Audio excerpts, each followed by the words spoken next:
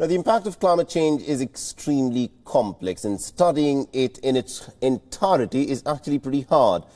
However, researchers are now looking to try and understand as to how prehistoric beech forests may actually explain to us the concept of coping with climate change. Our next report gets you all the details. These beech forests stretch over 12 countries in Europe. According to scientists, these forests have been growing since the end of last ice age. Around 70% of these forests are found in Ukraine and they have remained undisturbed as beech wood is not used for industrial purposes.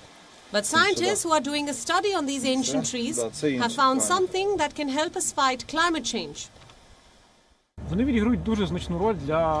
They play a very important role in terms of preserving biodiversity and preventing climate change. The number of plants, animals and mushrooms in an untouched forest is significantly greater than in managed forests. Moreover, some species of plants, animals and mushrooms can't live in forests where there's regular logging. The deadwood is an important element of the primeval forest as well. Around of the forest species and microorganisms are somehow connected with this deadwood.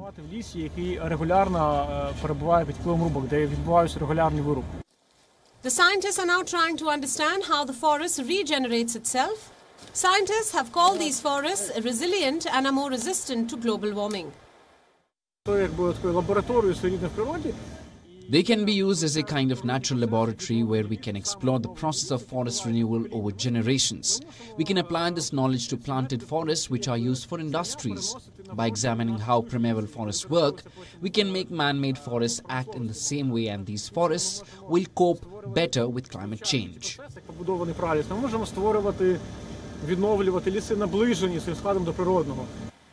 If the scientists are able to make a breakthrough, the world might have a clear answer to tackle global warming. Bureau Report, WION, World is One.